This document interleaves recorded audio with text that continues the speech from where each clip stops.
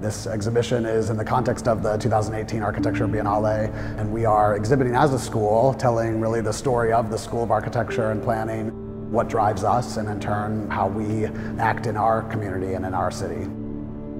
Buffalo has had its ebbs and flows, but I think we're in this space of revitalization where there's a lot of pride for Buffalo and a lot of passion to be building and making.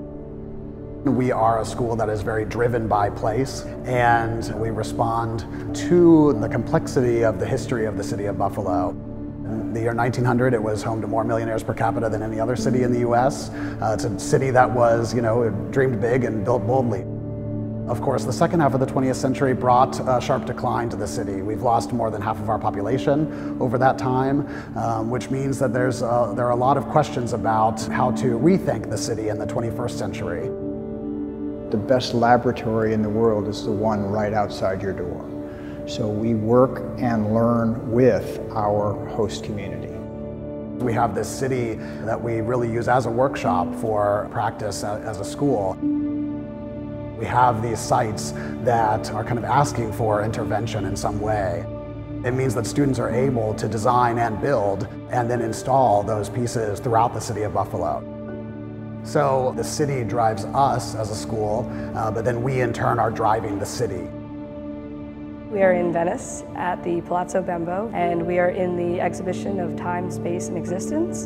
And I'm a part of the team for See It Through Buffalo, a documentary of our school and the city of Buffalo and how each are rooted within each other.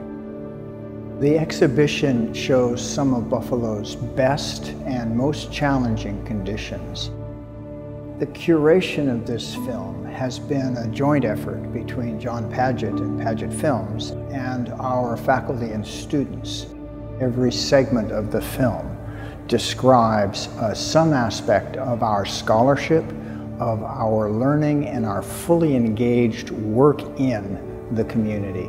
Not as a promotion, but as an inquiry how do we bring a city not back to what it was, but what it needs to be in the future? This film gives us a chance to really share Buffalo uh, with the world. What people find is it's a more complex city than they might have realized. The questions we're asking are questions of profound global significance. That's why we are Buffalo in Venice now. I'm an advocate for the University of Buffalo. I'm very proud to be from there. And this film is a tangible way of expressing that to other people. People can see through this exhibition the muse-like quality of the relationship between our enterprise as architectural educators and students of architecture and the communities that host us. So us working in the city and the city contributing back in ways that we all learn together, that's what it's about.